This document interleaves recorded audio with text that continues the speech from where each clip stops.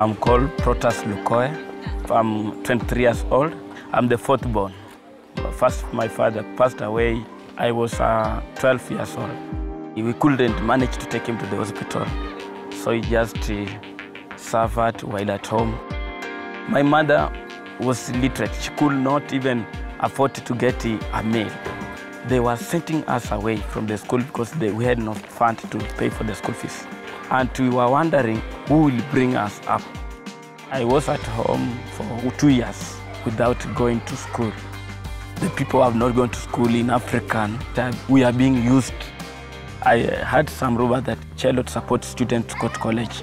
So I wrote a letter and went to pray. I fasted for two days. The principal called me and told me that he, we have received a check from Cello Foundation that he, they have paid for you school fees for one full term. I was glad. Uh, I studied teaching. I trained as a teacher. Uh, I graduated in April this year. Now I like teaching. I, um, nowadays I find it as a calling and I enjoy teaching and I like teaching subjects like science, eh, social study, Kiswahili. Education actually has really changed my life.